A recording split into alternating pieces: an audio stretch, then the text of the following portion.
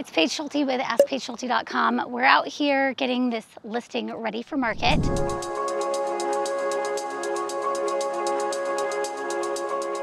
It's already staged. We do that with all of our listings. This one's out in the Artondale area of Gig Harbor. This is a super established area. Um, people love it because it tends to be a little bit quieter. It's in the heart of Gig Harbor, kind of nestled in the interior area of Gig Harbor, if you want to think about it that way. Homes are a little bit older. There's not as many new developments, so you've got mature landscaping in almost all of the neighborhoods. Small communities peppered with some homes that have acreage. This house sits on two acres. Some of these are going to be on half acre lots, and then you'll have properties that sit with no neighbors. Artondale offers a wide variety of different communities, even your 1970s neighborhoods that have like three bedroom, two bath ramblers built in 1970 to 1990. So you have a lot of variety within the Artondale area.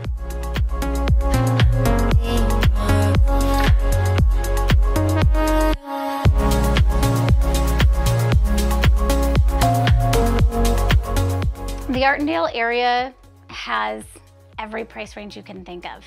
They don't have a whole lot of waterfront or water views, to be honest. Every price range from 500,000, maybe the low fives that need a, a substantial amount of cosmetic work to 1.5 that's gonna be dialed and newer construction, like in something like Chelsea Park.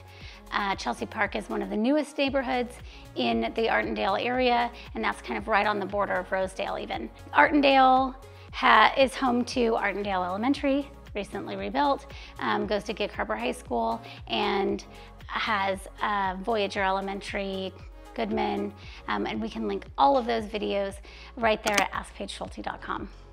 If you're interested in learning more about the Artondale community or any other neighborhood in Gig Harbor, hit us up at AskPaigeSchulte.com or just give us a call.